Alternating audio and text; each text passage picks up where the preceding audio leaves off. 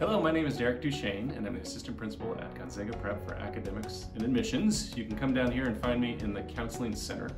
Um, I also teach one section of computer science. And a fun fact about me is I started teaching here 21 years ago with teaching chemistry and math, and I also coached football, baseball, and golf. Come visit sometime.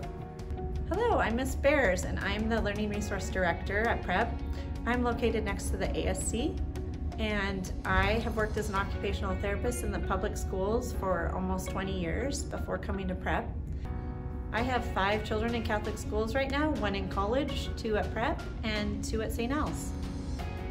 Hey Bullpups, my name is Mrs. Slamkowski DiTommaso, but Mrs. Slam for short, and I am the Christian Service Director and you can find me in room six on campus.